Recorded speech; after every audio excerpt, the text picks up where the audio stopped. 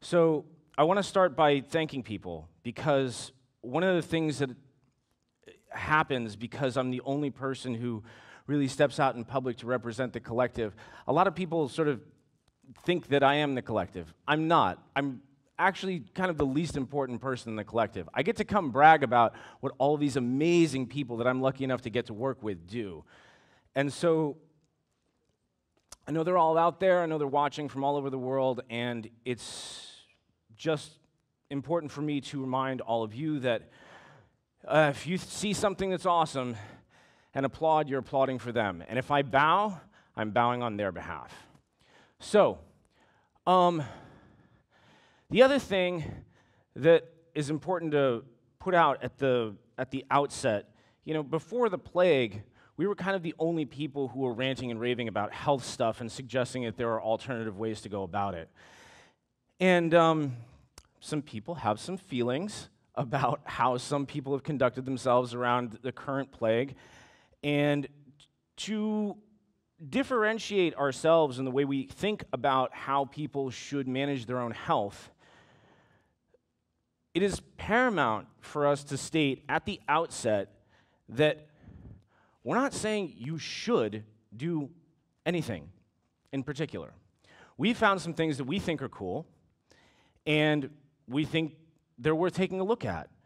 And you should make a decision for yourself as to whether you think it's good for you, for your risk profile, for your body type, for any number of variables, your philosophy, for how you'd like to manage your own health. Managing your own health is a human right, it's a very important human right. We believe it's the first. Because if you don't have your health, it disallows you access from managing all of the rest of your rights. It doesn't deprive you of your life necessarily if you're dead, it does. However, if you're sick, it deprives you of being able to interface with all of the things that make life meaningful. And then the third thing that, whoa, what happened? Oh, thank you. Um, the other thing that, that's important to mention is that we don't invent anything. We don't really do research and development. What we do is we look at things that are on the shelf, technologies that are established, things that have either been neglected or not pushed through or that are too expensive, and then we hijack them. So uh, we're not coming up with a new idea and saying, hey, wouldn't this be cool? We're looking at cool ideas that other people had that you can't get for whatever reason.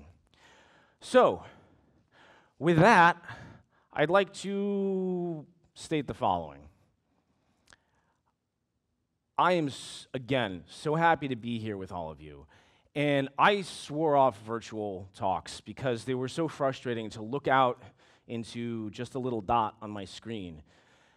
And if all we're doing is trying to do this again, uh, I, don't, I don't see the point. I want to make sure that this is as interactive as possible. Um, so, here's what I'd like to do. In the interest of doing things backwards, I want to chat. We're all here. That's what makes this special. So, to remember how important it is that we need to seize what we've got, I'd like to take questions first. And here's how I'd like to do it I want people to come up. Um, I, I, guess there are microphones that can be handed around. Here in the back, you see somebody waving a, a microphone. And um, they'll come around if you put your hand up. And I want to spend a few minutes, and I want to know what everybody's interested in. It's very easy to sort of run a, an independent research program and hang out with people who have their heads in the game and think about what we think would be cool. But if the whole point is that we're a public health organization, we need to know what everybody else thinks is important. Um, so we're going to do, if I can get this selector switch to work as it's supposed to, I, here we go. So if you're shy about having the microphone, you can also go to this website and use this code, and any word that you put in should pop up on this screen.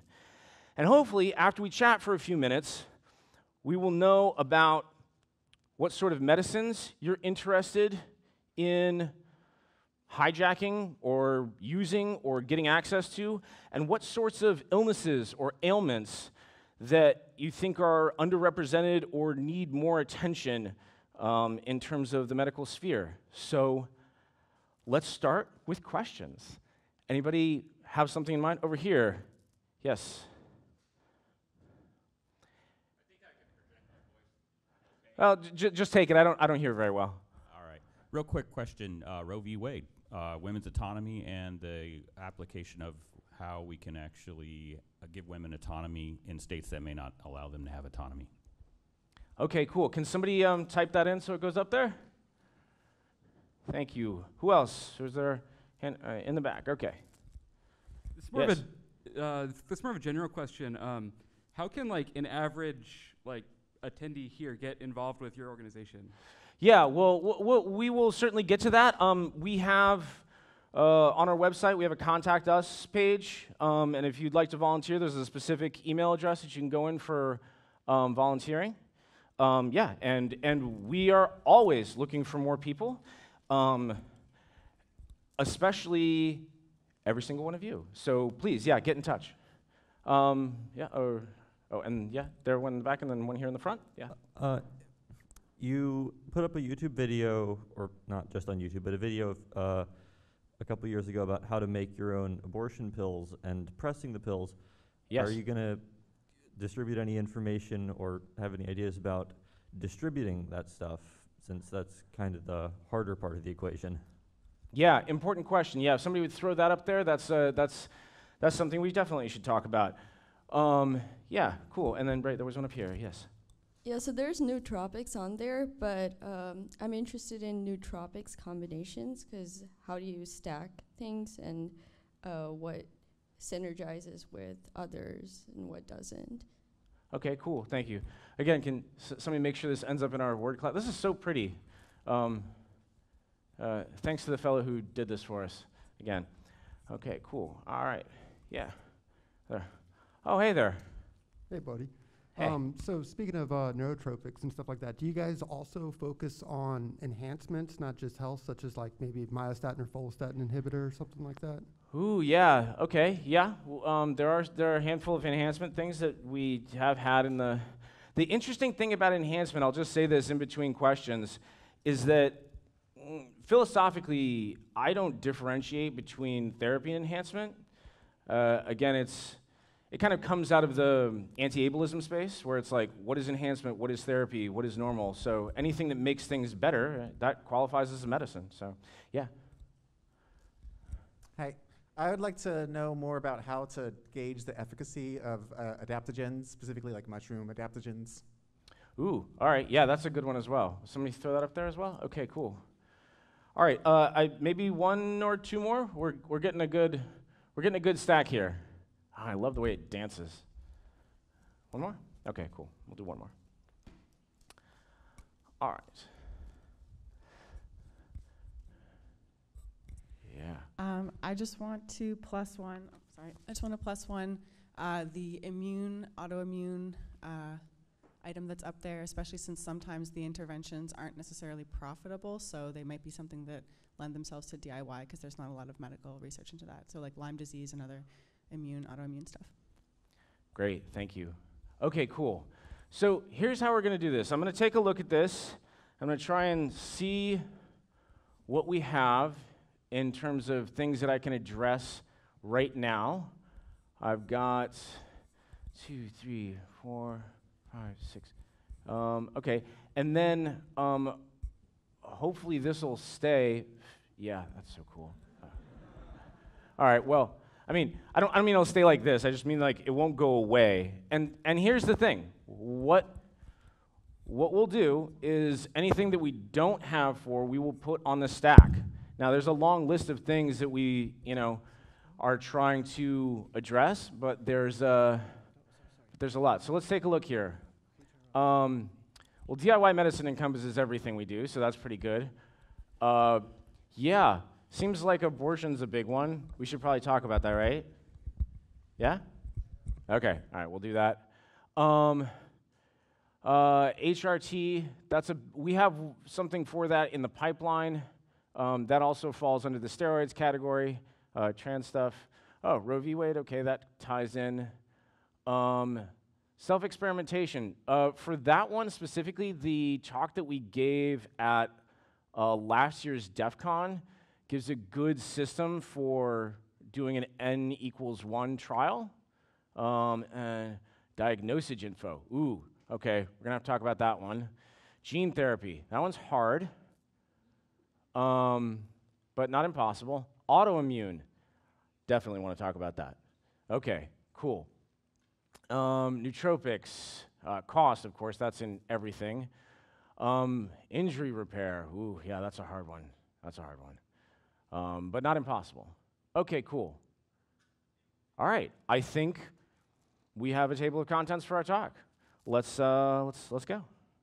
Uh, let me just adjust one or two things here, and should switch over, and this should be coming up. Uh, come on. There we go. Okay. So, uh, first thing that I'll introduce that falls under a lot of the categories that were up there in terms of DIY stuff is the new tools. We have a new stack of tools. The Microlab was sort of our flagship project and has been for a long time. And we have a new version of it. But what's really cool is not that we have a new version of the Microlab, but that we have a whole software suite of stuff that's uh, live and available that makes this easier to use. Because in the early days, it was kind of like, hey, we did a project and you could too if you wanted to go through all of this pain.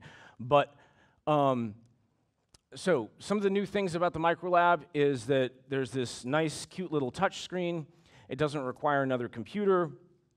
Um, you don't have to solder anything. Everything is screw terminals or snap together. So it's, it's very easy to assemble. Um, we had a video of it at one point where I think one of our hardware guys assembled it in something like you know 20 minutes. It was, it was really cool. But again, the hardware itself, the way it works, hasn't changed a whole lot. For those of you who are unfamiliar, it's an automated uh, chemical reactor that you can build yourself with off the shelf components.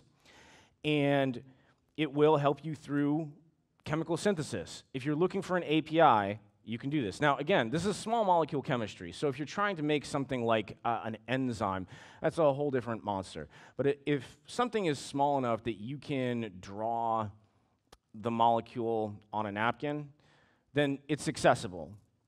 Now, of course, the question has always been like, well, all right, that's fine, but how do you run the thing?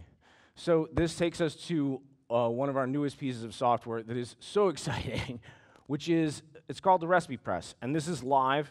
Um, it's accessible on our website, and I should be able to jump over and actually use it. But what it does is it allows you to generate a file that the hardware will run. Previously, you had to code it hard, and it's like, you know, sort of like Python, and of course, for I imagine for most people in this room, that's not a big deal. But the goal is trying to increase access. One of the key things is trying to make things less technical so you don't have to know how to code. So there's this nice system of pull-down menus where you can just muck around, and I'll show that in a minute. Um, you can go through and just, if you have a procedure for manufacturing a molecule, you just create a step for each one. Uh, in the pull-down menu, it allows you to do uh, whatever you want. And again, you can control temperature, you can stir, you can uh, have the syringe pumps push reagents into the reaction chamber. You can have it wait for a certain amount of time, and you can also have it prompt the user. And this is a really important thing that I think is critical. When we talk about automation, right, it's a marriage of having a human and a machine work together. You want the machine to do the things that are easy for a human to screw up, and you want the human there checking the things that a machine won't understand. And so, one of the best things about this is that it has a branching process. So, you can say, ask the user, is the solution still cloudy? Or is it now clear? And again, it's like, it's still cloudy, then it can then iterate. It's like you just need to stir for longer, you can put that in and you can have a decision tree in the system. This one's super awesome. I know uh, some of you remember us trying to hijack this years ago, and we finally did it, and it's so much fun. There was a group called Chematica that we tried to do business with very, very early on. They were very quickly absorbed by Merck, and their technology is now on a shelf somewhere. But what they did was very, very clever. They essentially utilized data science to try and figure out new ways to synthesize molecules. The first way is it combs through all of the history of all of the chemical literature that's out there. And what it does then is um, so this is live, but like just give it a minute. If everybody logs on right now, like it, it'll just lock up. Theoretically, it should queue, and that does work, but one of our chemists at one point put in a molecule that he had worked on for his master's thesis, and it maxed out every core for a full 12 minutes. So if you're one of those people who likes to stress test, just like wait a day, please. Um, so it'll crawl through all the history of all of the chemical literature and look for things related to your compound. It can then go combinatorially and try and figure out the bits and pieces of a way to get from A to B. If that's not there, you can utilize another module and it will actually hypothesize. And the coolest thing that I love so much is that you can just cut and paste a SMILES code. So a SMILES code is an alphanumeric string, like an ASCII string, that um, uniquely identifies a molecule. If you pick your favorite molecule off of Wikipedia, and then you scroll down in that rightmost column, down at the bottom, there'll be a thing that says Show SMILES. You click that, and that'll pop up, and you can copy paste it in. And again, this is right here, and I will show it in just a minute, but then this one I really love. There's actually a system to help you through. It actually can get into each of the pieces of software and help you work through it.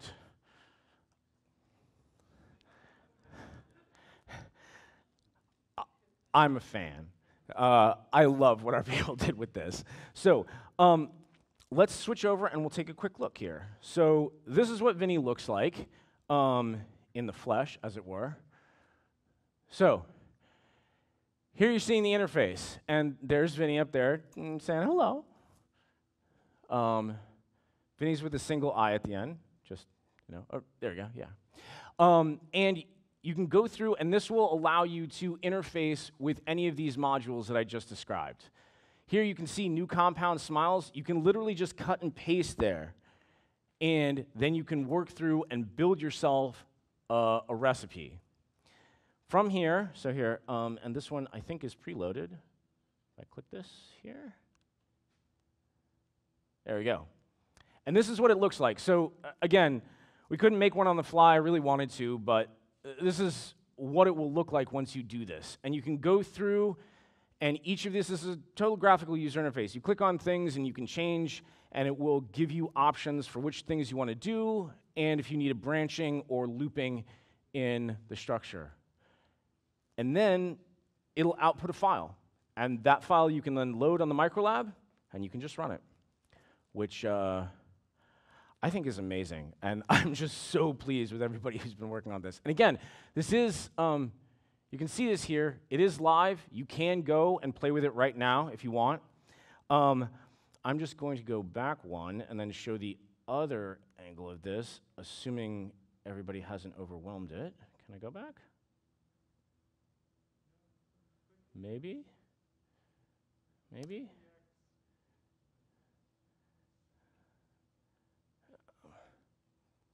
Okay, I'm gonna I'm gonna cheat here.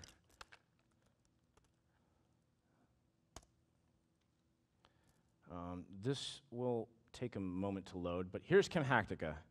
This is so much fun. So from here, it has a number of tools, and I can't even get through all of them, but these allow you to not just try and develop a pathway for synthesizing a molecule, you can also set parameters. If you want the precursors to be commercially available, uncontrolled, below a certain price, uh, non toxic in certain categories, you can do that. Also, it will allow you to, again, it will hypothesize if you let it. It'll make some good guesses, and it will say what you're looking for. So, again, this is, uh, this is where you would probably start. And what you can do is right here where it says target, you can just paste in uh, the SMILES code for a molecule. So I'm going to try and do this.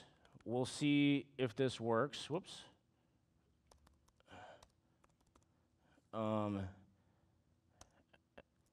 here we go. So we'll just pick, we'll pick a drug. Um,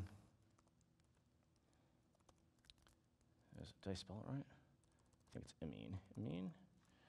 There we go. Medication, clofazimine. All right. So there you can see on the upper right is the chemical structure. And down here, smiles, you click show, and here's this alphanumeric string. I'm just going to grab it. And what operating system am I running? Okay, and then go back over, and hopefully I can paste this in. And when you click one step, what it looks for is one pot shots, where you can literally do a single reaction and get it to work. All right, there we go. So we've got three options already. So here, you can see they're color coded. I haven't done this molecule before, so we're just, we're just playing. But here, the green one indicates that this already exists in the literature. The blue one indicates that it exists in the literature but not directly. And the red one suggests that this pathway does exist, but the precursors are not commercially available. This is one of my coolest, uh, one of my favorite features here is you double click this, and then you say expand node. And what it'll do is it'll run the same thing on that one. And it's doing this in real time. Okay, so this is a server that's in a secure, undisclosed location that is taking care of this. And as you can see, it's like it's thinking. This takes a little time for it to draw out everything and figure out how this works. And you can continue to iterate this process. And utilizing this, you actually have a pathway from, oh, I have something that I want to make, through to how do I get from point A to point B? And then how do I make a file that will then run on the hardware and you can actually make it?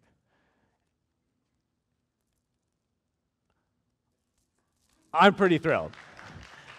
So, again, ma- massive hats off to all of our developers who came up with all of this stuff. It is so, so fun. Um, and it's fun just to mess around with, too. So, again, uh, if you're excited, like, yes, please use it, but just give us, g- give me another 35 minutes, okay, so it doesn't crash. Um, all right. So, um, Vinny here has some functionality, but we're like to give him a little more. Did I, did I press? Uh, huh? Come on. Um, right now, one of the things that we are trying to build into Vinny is the ability to help you through the research process. Um, doing doing research where you um, that's beautiful, but not what I was dreaming of. Um, yeah, there we go. Okay, cool. Um,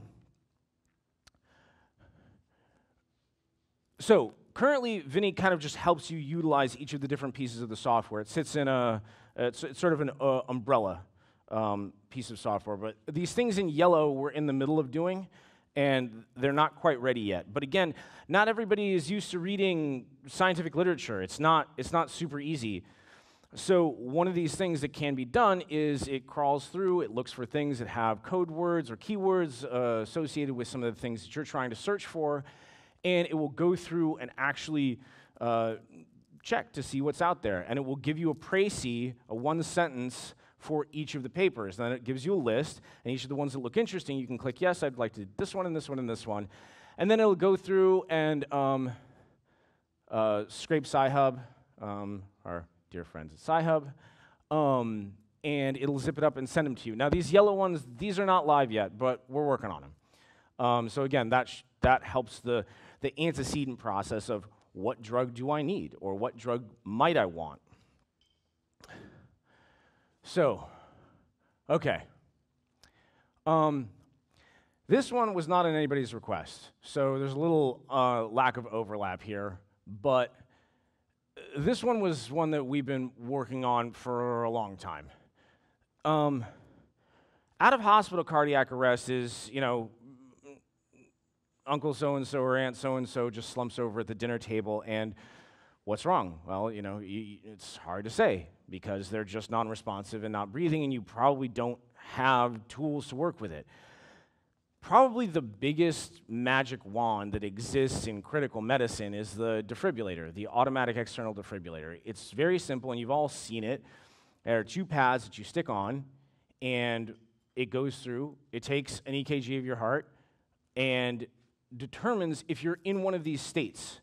One of these states is either that things are out of sync or your valves are just kind of fluttering. If that happens, it will identify that and administer a shock.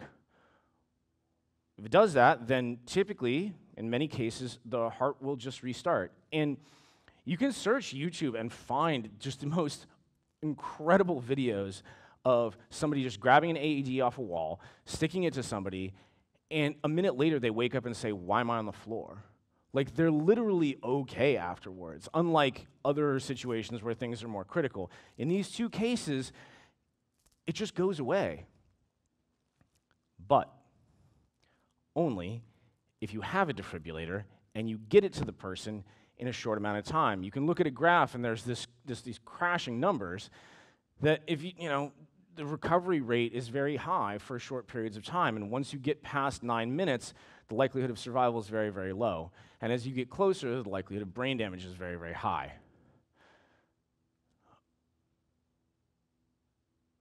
So the solution is, is that everybody should have one in their car and in their house.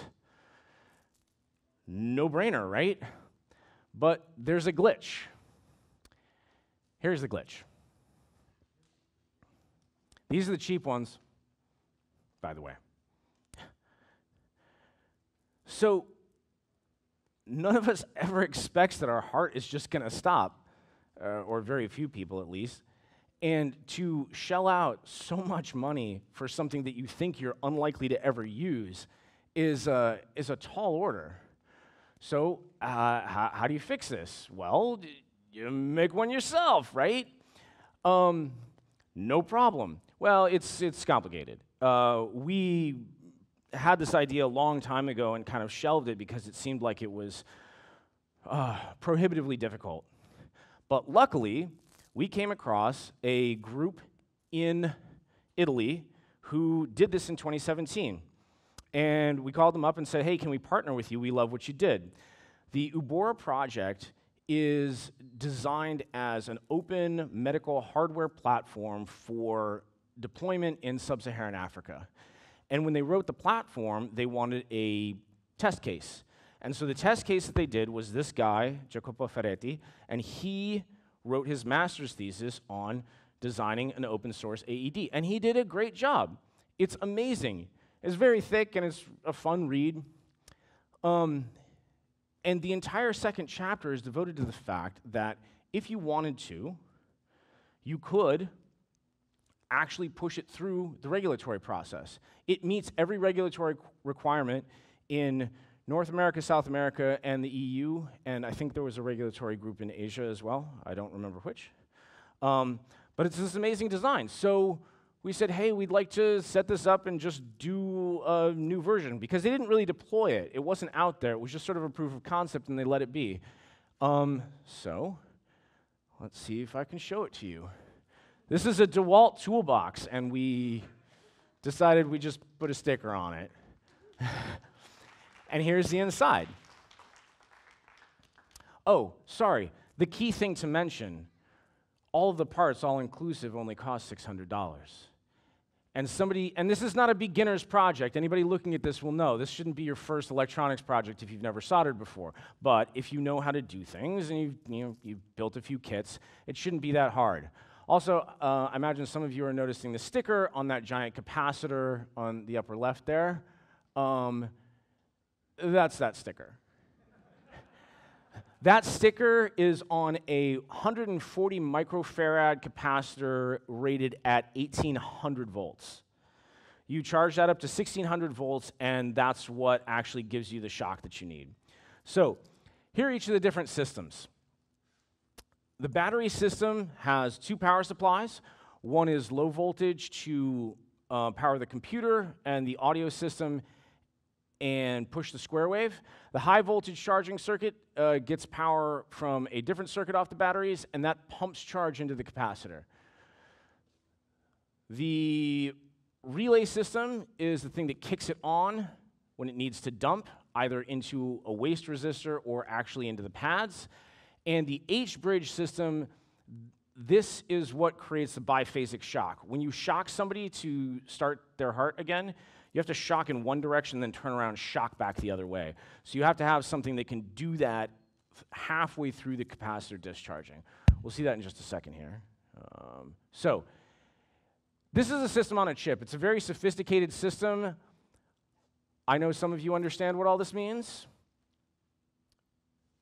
It's cool. And what this does is this um, allows you to load the code that will take the EKG and it will essentially run a finite state machine and decide if a shock needs to be administered or not. And if not, it will also give you audio prompts. It'll tell you to not panic and to call emergency services and to continue CPR and to, you know, do all of those bits and pieces. Um, here's the finite state diagram that actually tells you about how each piece goes around and it measures. It will say, don't touch the patient. You'll wait. It will do a little diagnostic, and then it will continue to give you instructions, either to give a shock, or it gives a shock. It's a fully automatic AED. It's not the ones where you have to press the button. It'll say, stand clear of the patient, don't touch the patient. And then it'll administer the shock, or it will just tell you to continue CPR. Or in the case that you don't have anything wrong, it will tell you that a normal heartbeat is detected. I we actually have this unit back at our Airbnb, and I really lobbied the group. I said, What if we just stop my heart and then we could s- start it again? And they're like, It doesn't work that way. You have to be in V-tach or VFib. And I was like, Oh, right. So how do we induce that? And they said, No, we're not doing that. Um, I thought it would have been fun, but such as it is, um, I'm just showing you a graph. This is what a normal heartbeat looks like, more or less, when you plot it in phase space. Now, you're used to seeing little things that blip along. So if you do transformation, you can see this pattern is readily discernible. This is the sort of thing you can teach to a machine very easily. If it sees this, this is a normal heartbeat. If it instead sees this, this means things are bad news. And so the way that the algorithm works is that it will sweep out the internal area created by these curves. And if it's above a certain threshold, then it knows that it's in this mode and says it needs a shock. Um, this is the one for, I believe, ventricular tachycardia. The fibrillation looks slightly different. But again, these are things that are easy for a machine to notice. So, of course, you know, when you're putting your hands, uh, your life in the hands of a machine, you want to, like, how does it know?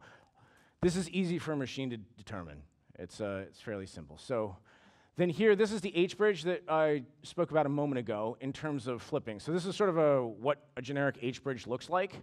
Um, our H bridge, right? So and this is the discharge. So this is what it looks like, the capacitor up from there, and then it switches over and dumps the rest going back the other way. And yeah. And this is what the actual circuit for the H bridge looks like.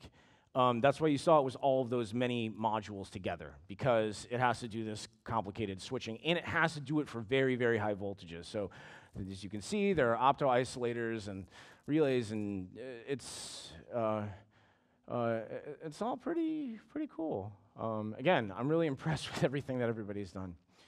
Um, so this is this is kind of the key piece, though. I'm sure you saw how tiny those little batteries are. Yeah, there's an array of them, but how do you get a tiny little battery to, in a very short period of time, push a huge amount of charge into a very, very large capacitor? Well, um, those of you who are familiar will recognize this as a fairly generic flyback circuit, and this is basically what we run. It's slightly more complicated than this because there's tuning involved, but this is what the skeleton looks like. What you're doing is you're pumping a square wave into uh, two gain stages. So there are actually two transistors on the left there. One kicks it up, one kicks it up again, and then you run it through a flyback transformer, and you have this diode. And in our case, there are actually two or three, depending on which version we did, um, that created, and the thing charges up really fast. Um, I have video of it that I will eventually post. The first time that I got it to work, I was really surprised because it hadn't been working for a while. And, um, and then when I pushed it to dump into the power resistor, the power resistor exploded. Um, so, and, and another time, another guy was testing it, and he, it is the most incredible video because his multimeter actually jumped off the bench because one of the uh, copper traces vaporized. It was, it was nuts to watch. Um, so, that's the AED. It, it works just the same as a commercial unit. However, we were sitting around thinking and said, okay, well, it's as good as a commercial unit. How do we make it better? What's better than an AED? Somebody said, well, if you're in the hospital, so, okay, that, well, that's complicated. If you're in a hospital, you've got a whole bunch of people attending to you. You call a code. You've got a respiratory therapist. You've got a pharmacist. You've got somebody monitoring your, your airway. You've got somebody who's reading your vitals. You've got somebody with a manual defibrillator who's making a decision as to how they're going to run it. These things are difficult. When somebody mentioned the whole problem of diagnosis, diagnosis is probably the most difficult thing in all of medicine. And is often gotten wrong. Diagnosis is very, very difficult. But we ask the question of the things that are done, what can we add in that doesn't require diagnosis or any special training? And nicely, there are two things that you can do that are fairly easy. And the first one is you can just give a blast of air. Now, um, this is an off the shelf unit, and you'll see it here. This is how big this thing is and you can throw it in with your AED. It's a sports oxygen thing, which, by the way, is a total scam. If you're in an aerobic state, you're running around, your blood's already totally saturated with oxygen. This will do nothing for you. However, if you have not been breathing and your oxygen saturation has been tanking, if somebody's there and the first rescue breath that they give you comes out of this, then it will increase your oxygen saturation in your blood and make it so that when you're doing the chest compressions, more oxygen will get to your brain and you're less likely to die while you're waiting for the EMTs to show up, and the brain damage you are likely to incur will be less. Again, easy off the shelf solution. And then the other thing is that typically when you're being given CPR in a hospital, they give you vasopressin and epinephrine. These both increase your blood pressure. This supports CPR. If your blood pressure is low and somebody's trying to do compressions on you, it's not getting anywhere. It's very, very hard. So if you can increase that chemically, it's very easy to do. Now, some of you who are familiar with this will say, well, wait a second, that's an IV. How are you going to set up an IV? Well, interestingly enough, there was a study shown that intramuscular epinephrine and intravenous epinephrine are about the same efficacy when trying to support CPR. So, if you wanted to, you could, again, off the shelf, just throw in three EpiPens because you want a full milliliter of epinephrine. However, there was this problem with EpiPens. Does everybody remember? so, you can build your own. We've been doing this for a long time. This was like the big hit. A lot of people still come up to me, they're like, oh, you're the EpiPencil guy. And I'm like, well, we have done a few other things, but yes. Um, and we have a few of these. Um, is there anybody in the audience who suffers from anaphylactic shock? No, I, anybody waving? Nobody? Would you like one? All right, come take this one. It's uh, so again, this is an auto injector, and it uh, has a nice sticker on it. And um, yeah, here, here, I'll just pass it back. Um, and we probably have one more if there's uh, anybody else who uh, wants one.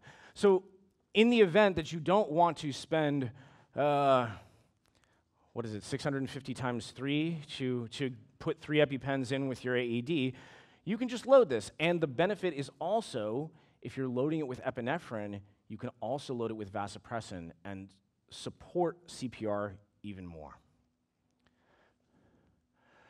Okay. This is the big one that everybody was asking about. This is the one that was in, I don't know, very large font in some, some color. this one bothers me.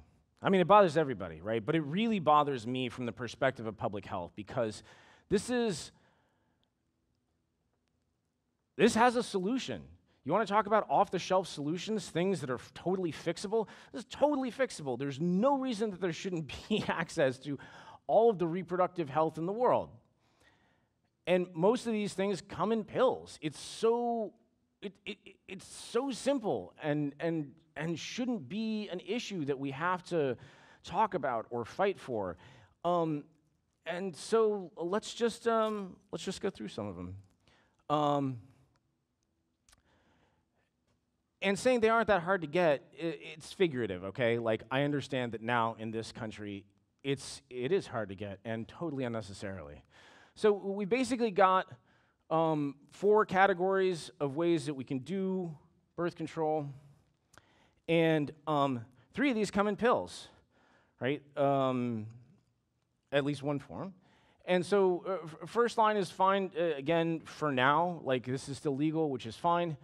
Um, and the pills are out there, and, and hopefully, you have one that works with your body. And again, but you have to take it all the time, and you still have to go talk to an authority figure who will grant you permission to have some uh, uh, autonomy over your body, which doesn't sit terribly well with me. Um, and there's this one, and this one's in this interesting gray area um, because uh, apparently in certain jurisdictions this is not seen as different from abortions, but it has this interesting fact that it's just a single pill, and it is technically still over the counter. Now, people think about Plan B, right? That's, that's a brand name. But there is this um, off brand called My Way that you can get off of Amazon. And a month ago, they were $6. And now they're, I think, 18 um, But this is over the counter. You can just order it. And it's um, still available for now. Uh, interesting point of fact it has a three year shelf life. Um, let me see. Um, could, could we bring the house lights up just a touch so I can kind of take a rough count? So let me ask one question. Um, who maybe wants one of these for a rainy day? Nobody? Everybody's just cool? Okay, here. Um, but I was, I was looking here, and I think, I think, uh, oh, a bunch of people just filed into the back. I might have enough for everybody. Um, interesting point of fact also, this box is mostly empty. It's one pill, again, in a blister pack that of theoretically five, that uh, the four are empty because it's only a single pill. So, um, you know, maybe, maybe we should just pass them around, right? I mean, who, who wouldn't want this for a rainy day or knows somebody who might want one for a rainy day? I mean, here you go. I got a, I got a whole box. Here you go. Just, uh, just come up and grab one whenever you want. Um, and when we were looking at this, um, again, we're always thinking, how can we improve things? Uh, looking at emergency contraception is probably not the only problem that you're dealing with. Um, wouldn't it be nice to also have something that protected against HIV? Well, there is post exposure prophylaxis. So why couldn't you just bundle them? Well, there's a slight problem. We looked into this, and unfortunately, there are two problems. And the, which, yes, post exposure prophylaxis in its like regular form, if you're a health worker and you have a um, needle stick problem, you go through a month of fairly heavy antiretrovirals. And then the other problem is that the two actually interfere with each other. If you look, if you took one of these boxes, you'll see on the back that it says if you're taking antiretrovirals for HIV, you should talk to your doctor before taking it. Okay, so those are problems. Can we fix them? And the answer is absolutely we can. And the wonderful things are that, oops, I apologize for this. Um, the two things that need fixing uh, first, the fact that they interfere with each other, and um, the other one being that you have to take it for a month. The first dose of the antiretrovirals does something like 90 plus percent of the work. The rest is just to make sure. So if you want to be really sure, then yes, you need to dose yourself for an entire month. And again, it's all a numbers game. Both of these medications just reduce the likelihood that these things will go wrong. They don't guarantee it at all. And wonderfully enough, there was a symposium last year that showed that if you just double the dose of the Plan B, you can take it with an antiretroviral and it will still be effective.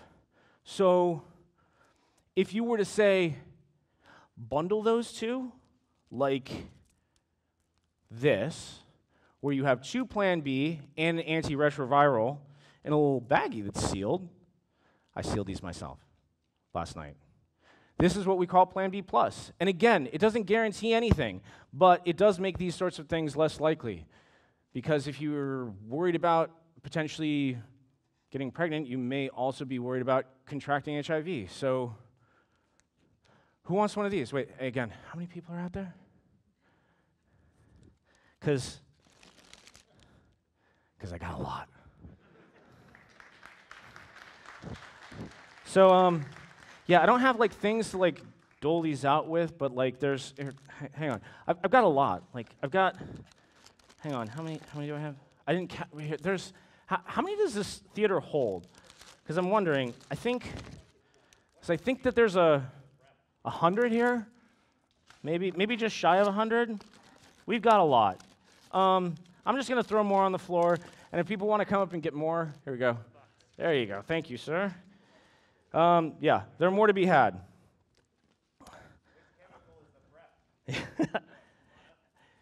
um, so that particular antiretroviral is, I'm, I'm going to butcher the, uh, the technical names, but it's Truvada. So it's a single pill of Truvada that's stilled in with the two Plan B pills. Um, so uh, again, uh, hopefully nobody will need it, but again, there they are if you do need them. And again, the, the, the reason this bothers me is because this shouldn't be a problem. You know, this should be available. Um, so then let's, let's go to the next, right? Medicated abortion. This is the thing that like all abortion activists know about. You have mifepristone and you have misoprostol. Um, misoprostol works on its own very effectively. You take three doses of it. It's pretty simple, but again, it's very hard to get. Um, so, uh, how do you solve this problem? Well, it's, it's, uh, it's, it's not that hard to solve. All we do is we just go and buy a bunch. So, you need to take 800 micrograms in three doses and you space them out. And uh, these, are, these are made. You know, you can, you can buy them from India. They're not hard to get. Um, this should solve the problem. And there are organizations that distribute these. We're not one of them. I just distribute them here because it's fun. Uh, right? But like, it, this shouldn't be a thing, right? It, look, this little box of pills is your abortion in a box. Like, again, you know, I, I'm not going to say who wants this for a rainy day because people probably won't want to raise their hand, but like, how many people are out there? Because uh, cause I got a lot. So I'll just leave those there. Um, and oh, wait, wait, wait, hang on.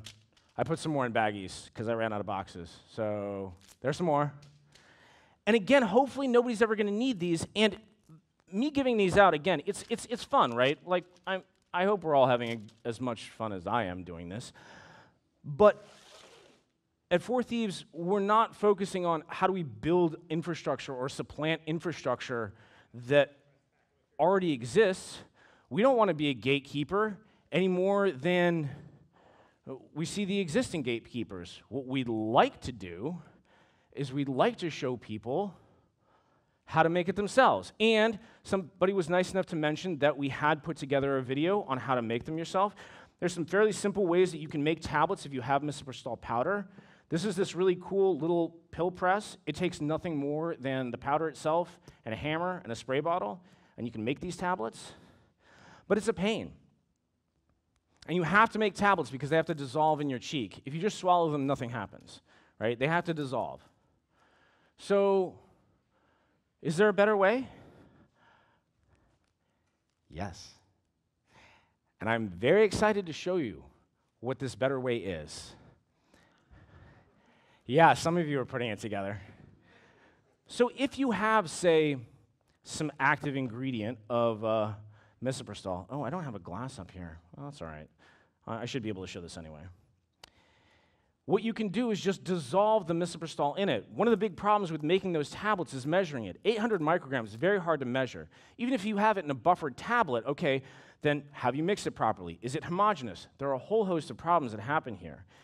And if you get it, you can just dissolve it in um, Spirytus Polski, uh, 96%. I bought this yesterday. Who, who drinks this?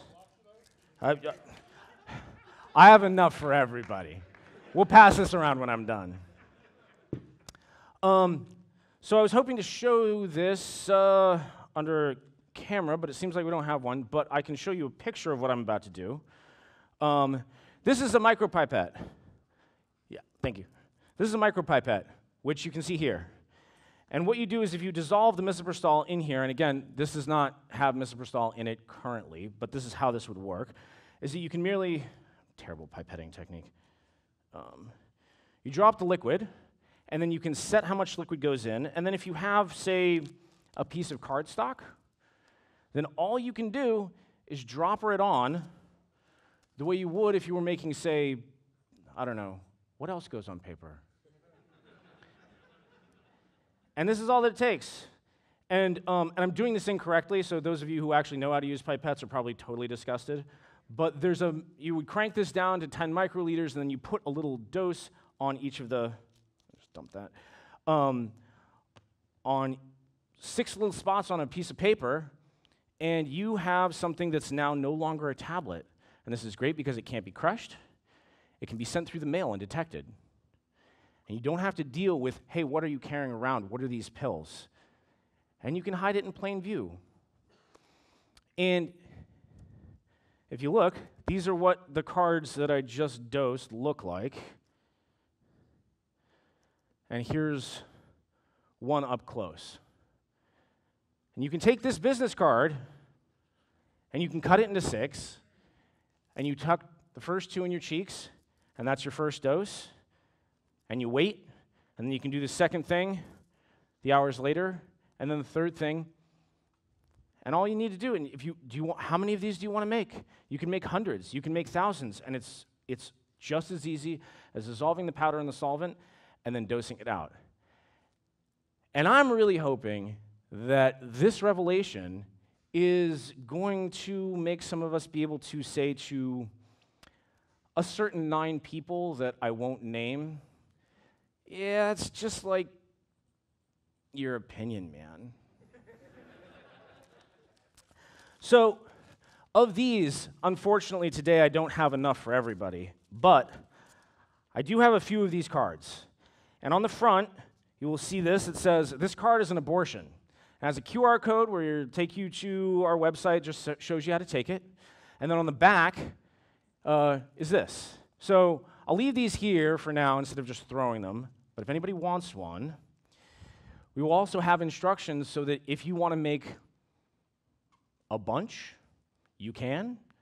And how much would you want to make? Well, let's just play with some numbers, shall we? So, there are about 6.1 million pregnancies in the US annually. According to the Guttmacher Institute, 18% of those are unwanted. If we just do a little bit of arithmetic here, we'll see this is uh, 1.1 million pregnancies that are unwanted. Three doses of 800 micrograms. That's what you get on a card. You want to multiply this out? This is just a, over two and a half kilos. This means that with just two and a half kilos, I mean, you've seen a kilo, just two and a half kilos would actually cover every single unwanted pregnancy in America for the year. And for those of you who see me do my thing, I know the question you're asking is So, where are the two and a half kilos? oh, I don't know. I dropped them somewhere. But you'll see them out there. We have a lot more things to show you. Uh, I'm so excited to be back. I hope to have conversations with everybody. Um, um, I'm showing that my time is up. Um, I had one other thing to show uh, that I was pretty excited about, but uh, we have dozens more. And what we'd really like to say is thank you so much for coming. Thank you so much for supporting us over the years. Thank you so much for thinking about embracing your own health and helping other people. Um, again, we have a website. Uh, if you'd like to volunteer, as was asked, we have a volunteer contact. Um, if you have more money than time, we'd love donations because uh, we're having a hard time buying all these drugs. Um, not really. We're having a hard time with logistics, which is also very expensive. Um, and, um, and we'd love any help you could give. We'd love to hear more of these ideas of what people would like to work on and what people think should be worked on. And um, as I say, if you really like what Four Thieves is doing and you'd like to help the cause, go find somebody who needs your help and help them, whether you think they deserve it or not. Thank you so much. And because I took